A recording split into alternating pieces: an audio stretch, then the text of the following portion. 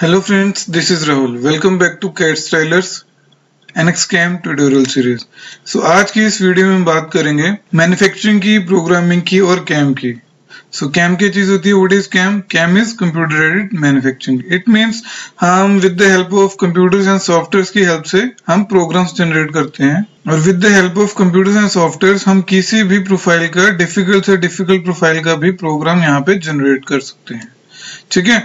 सो हमारे पास प्रोग्रामिंग जो है वो कितनी तरह की होती है? हमारे पास प्रोग्रामिंग दो तरह की होती है मैनुअल प्रोग्रामिंग और automatic programming so manual programming को हम जनरली सीएनसी प्रोग्रामिंग से रिप्रेजेंट करते हैं। तो सीएनसी प्रोग्रामिंग क्या होती है? मैनुअल प्रोग्रामिंग होती है और CNC stand for computer numeric control ठीक है? और CAM stand for computer aided manufacturing ठीक है? तो आप इस तरह से दो तरह की प्रोग्रामिंग कर सकते हैं। तो सीएनसी जो है वो मैनुअल प्रोग्रामिंग होती है और ऑटोमेटिक प्रोग्रामिंग में हम सॉफ्टवेयर uh, यूज़ करते हैं। तो अभी जो हम सॉफ्टवेयर यूज़ कर रहे हैं हम कौन सा सॉफ्टवेयर यूज़ कर रहे हैं? एनएक्स टेन वर्जन यूज़ कर रहे हैं। एनएक्स मीन्स सीमेंस का सॉफ्टवेयर है और एनएक्स का टेंथ वर्जन ये सॉफ्टवेयर है हमारे पास। ठीक है? तो इसमें हम यहाँ पे मॉडलिंग uh, भी कर सकते हैं मैन्युफैक्चरिंग भी कर सकते हैं और हम इंजीनियरिंग भी कर सकते हैं। इट मीन्स कैड कैम और सी हम तीनों मॉड्यूल्स को यहाँ पे परफॉर्म कर सकते हैं। ठीक है? सो so, आज जो हम करेंगे वो हम मैन्युफैक्चरिंग करेंगे मींस हम इस पार्ट का प्रोग्राम जनरेट करेंगे। सो so, मैंने मॉडलिंग में यहाँ पे ऑलरेडी बना के रखा हुआ एक पार्ट तो आप देख सकते हैं हमारे पास जो मेन पार्ट है वो ये वाला है रेक्टेंगल जो हमें चाहिए। रेक्टेंगुलर पार्ट है जो हमें मेन पार्ट चाहिए और हमारे पास रॉ मटेरियल क्या आ रहा है? हमारे पास रॉ मटेरियल आ रहा है ये वाला। ठीक है? सो अगर मैं दोनों को एक साथ दिखाना चाहूँ तो मेरे को रॉ मटेरियल को थोड़ा सा ट्रांसपेरेंट करना होगा। सो मैं यहाँ से रॉ मटेरियल को ट्रांसपेरेंट कर देता हूँ ताकि आप दोनों पार्ट को इजीली देख सकें। ठीक है? और स्टॉक जब हम लेंगे इसमें तब भी हमें इजी हो जाएगा। सो so, इस तरह से हमारे पास ये दोनों पार्ट दिखेंगे। तो आप देख सकते हो यहाँ पे हमने क्या किया हुआ है? अगर मैं एडिट में जाके दिखाऊँगा आपको तो जो हमारा मेन पार्ट है उसकी हाइट कितनी है हमारे पास? 40 एम mm और जो हमारे पास रॉ मटेरियल है स्टॉक है, वो उसकी हाइट कितनी हमारे पास? 42 एम mm. तो हाइट उसकी 42 एम mm है इट मींस एक तो हमारे पास प्रोग्राम बनेगा इसकी फेसिंग करने का। और हमारे पास इसकी वॉल्स में भी काफ़ी सारा रॉ मटेरियल है तो हमें वॉल्स भी इसमें रिमूव करनी पड़ेगी। तो दो तरह के प्रोग्राम बनेंगे, एक हम फेस मिल करेंगे और एक हम वॉल्स को मिल करेंगे, ठीक है? तो एप्लीकेशन में जाके हम मैन्युफैक्चरिंग यूनिट्स में चले जाते हैं और यहाँ से हमारे पास नंबर ऑफ़ प्रोग्राम्स के ऑप्शंस आ जाते हैं। लाइक आप यहाँ पे कैम जनरल कर सकते हैं प्लेनर में कंट्यूर कर सकते हैं multi axis multi blade rotary hole drill turning and number of programs यहाँ पे आप जनरेट कर सकते हो, ठीक है? सो कैम जनरल में मिल प्लेनर में यहाँ पे कर लेता हूँ। तो बेसिक प्रोग्रामिंग करेंगे हम स्टार्टिंग में आज। तो यहाँ पे हमारे पास सबसे इंपॉर्टेंट चीज़ है कि हमें एमसीएस सेट करना होता है। तो यहाँ पे हमारे पास ज्योमेट्री व्यू है, हमें ज्योमेट्री सेट करनी पड़ेगी। ज्योमेट्री के लिए हमें एमसीएस सेट करना है स्टॉक सेट करना है और पार्ट सेट करना है। ठीक है? तो तीन चीज़ें इंपॉर्टेंट है यहाँ पे। तो हमारे पास ज्योमेट्री व्यू यहाँ से आ जाता है। राइट क्लिक करके हम ज्योमेट्री व्यू यहाँ से भी चेक कर सकते हैं। ठीक है? तो यहाँ से भी आप ज्योमेट्री क्रिएट कर सकते हैं। और यहाँ से आप टूल क्रिएट कर सकते हैं। अगर आप टूल क्रिएट कर रहे हैं पहले तो भी कोई दिक्कत नहीं है। अगर टूल पहले नहीं क्रिएट करना चाहते हैं अगर बाद में क्रिएट करना चाहते हैं तो भी कोई दिक्कत नहीं है। ठीक है? सो so, यहाँ पे सबसे पहला जो मेरे पास मेथड है वो क्या है? एमसीएस सेट करना। एमसीएस क्या चीज़ है? Machine coordinate system so machine coordinate system को हम किस तरह से सेट करेंगे? देखिए आपके पास एक चीज़ इंपॉर्टेंट है। जब भी आप एमसीएस सेट करें ये मशीन कोऑर्डिनेट सिस्टम है इसको एमसीएस बोलते हैं। तो यहाँ पे हमारे पास जो जेड एक्सिस है, वो अपर साइड होनी चाहिए एक्स एक्सिस इस साइड होनी चाहिए और वाई एक्सिस इस साइड होनी चाहिए। तो ये है एक्सिस की कॉन्फ़िगरेशन तो इस तरह से अगर आपने एक्सिस रखी हुई है, चाहे वो कहीं पे भी प्लेस हो तो आपका प्रोग्राम जो है वो बिल्कुल सही बनेगा। चाहे तो आप यहाँ पे प्लेस करवा लीजिए, चाहे आप इस फेस पे प्लेस करवा लीजिए, ठीक है? तो आप कहीं पे भी उसे प्लेस करवाएँगे। सो मेन आपने एमसीएस में क्या ध्यान रखना है? आपकी जेड एक्सिस अपर साइड होनी चाहिए एक्स और वाई एक्सिस इस साइड होनी चाहिए। ठीक है? तो इस तरह से आपके पास ये एमसी सेट हो जाएगा। देन यहाँ पे वर्क पीस हम सेट कर देंगे। हमारे पास पार्ट कौन सा आ रहा है? हमारे पास पार्ट आ रहा है ये वाला। ये देखिए पार्ट आ रहा है हमारे पास। और हमारे पास ब्लैंक कौन सा आ रहा है? ब्लैंक हम यहाँ पे स्पेसिफाई कर सकते हैं। हमारे पास ये ब्लैंक आ रहा है। तो यहाँ से आप डिस्प्ले करवा के देख भी सकते हैं। हमारे पास ब्लैंक और पार्ट कौन सा आ रहा है? एमसीएस वर्क पीस हमने सेट कर लिया है देन हम यहाँ पे क्रिएट ऑपरेशन में चले जाएँगे। मिल प्लेनर और यहाँ पे काफ़ी सारे ऑप्शंस आ जाएँगे तो यहाँ पे हमने मिल प्लेनर को सिलेक्ट करना है। मिल प्लेनर में हमने क्या करना है? पहले तो इसके फेस को मिल करना है। तो यहाँ पे हमारे पास क्या आ रहा है? मिल प्लेनर और प्लेनर मिल ठीक है? तो प्लेनर मिल में चले जाएँगे और यहाँ से आपने मेथड जो रखना है वो फिनिश का रखना है। और ज्योमेट्री आपने वर्क पे सेट करनी है टूल आपने भी कोई सिलेक्ट नहीं किया प्रोग्राम में आप सिंपली प्रोग्राम यहाँ पे सिलेक्ट करेंगे। तो जैसे ही आपके पास मिल प्लेनर आ जाएगा, जैसे आप इसे ओके करेंगे तो आपके पास विंडो आ जाएगी। विंडो में काफ़ी सारी ऑप्शंस आपको पूछ रहा है, ठीक है?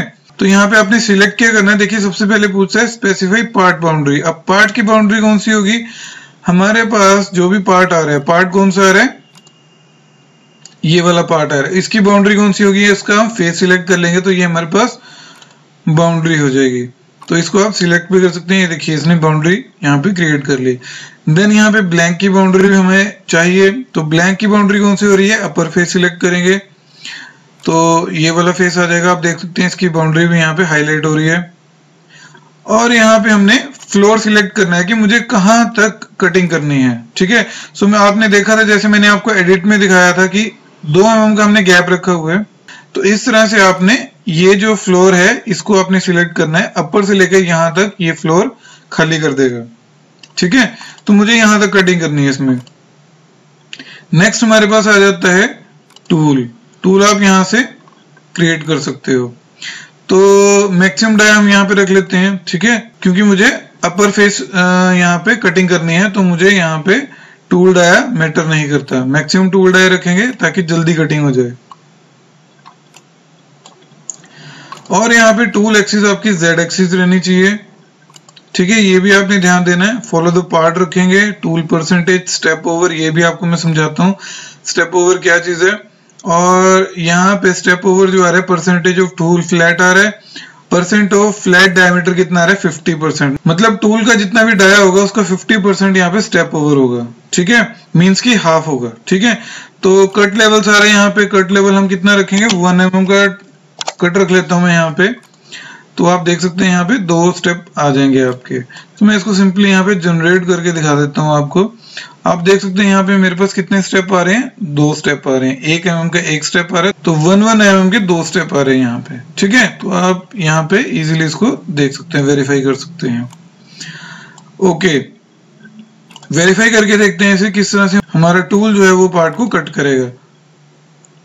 तो आप देख सकते हैं ये पार्ट को फॉलो करता हुआ कटिंग कर रहे हैं।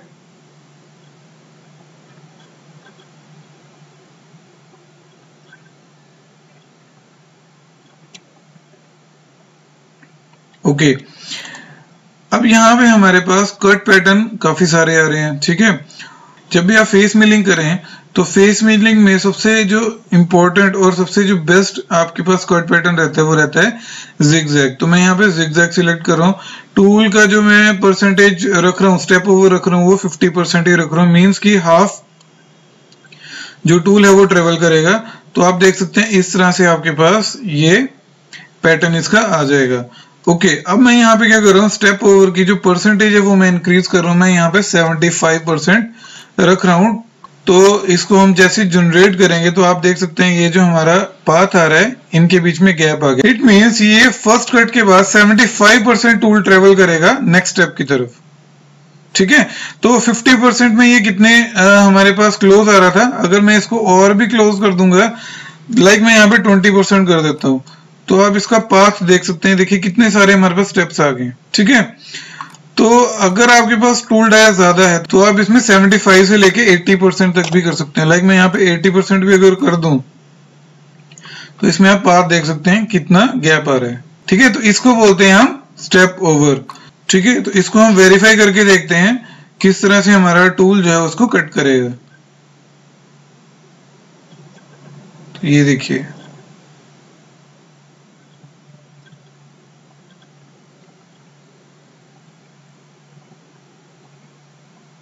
ठीक है? तो इस तरह से ये हमारा जो फेस है वो मिल हो जाएगा। ठीक है? सो फ्रेंड्स आई होप आपको ये फेस मिलिंग अच्छे से समझ में आ गया होगा। इसमें हम क्या क्या चेंजेस कर सकते हैं और कौन कौन सा पैटर्न हम इसमें यूज़ कर सकते हैं, किस तरह से हम टूल को यहाँ पे लेके चल सकते हैं और स्टेप ओवर किस तरह से हम इसमें इंक्रीज और डिक्रीज कर सकते हैं और कट लेवल्स में हम किस तरह से डेप्थ ऑफ़ कट को दे सकते हैं। ठीक है? अगर यहाँ पे आप दो एम का डेप्थ ऑफ़ कट रख दोगे तो एक ही स्टेप आएगा यहाँ पे। ये देखिए, एक ही स्टेप में कटिंग कर रहे हैं ना? ठीक है? तो इस तरह से आप स्टेप ऑफ़ कट को भी यहाँ पे चेक कर सकते हैं और यहाँ पे स्टेप ओवर भी आपका इंपॉर्टेंट रोल प्ले करेगा। ठीक है? तो आई होप आपको ये अच्छे से समझ में आ गया होगा। तो फ्रेंड्स नेक्स्ट वीडियो हम करेंगे, इसी पार्ट की वॉल को मिल करेंगे। ठीक है? फेस को हमने मेल कर लिया वॉल मेल करेंगे नेक्स्ट वीडियो में। ठीक है? तो stay tune stay connected so next video में मिलते हैं। Thanks for watching this video thank you so much